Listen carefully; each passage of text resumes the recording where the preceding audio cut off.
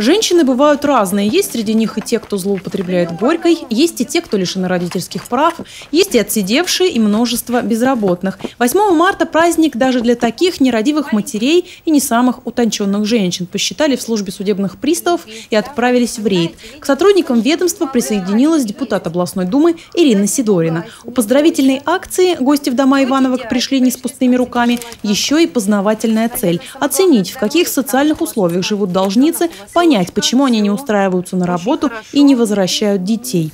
Екатерина лишена родительских прав уже 10 лет. Ее дочь живет в интернате и с мамой в основном созванивается. Екатерина не работает, ее долги копятся. По алиментам она должна уже 1 миллион рублей. Считает, что найти официальный заработок фактически невозможно. Медкомиссию надо проходить, если куда-то трудоустраиваться.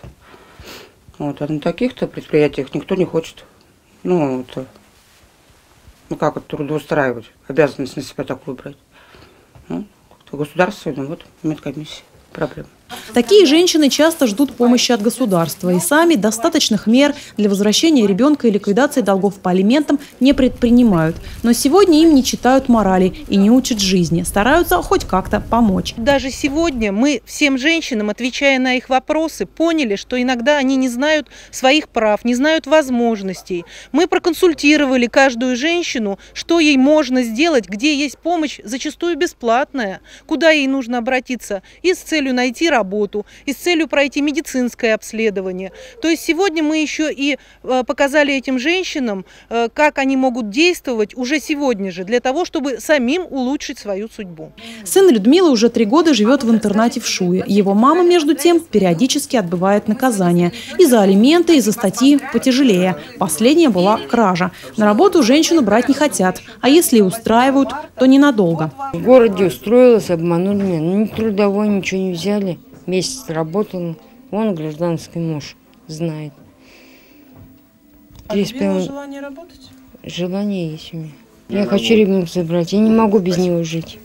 Но, скорее всего, это пустые слова. Людмила Капустина даже не знает, какие документы нужны, чтобы забрать ребенка. И с утра от нее уже ощутимо потягивает крепким алкоголем.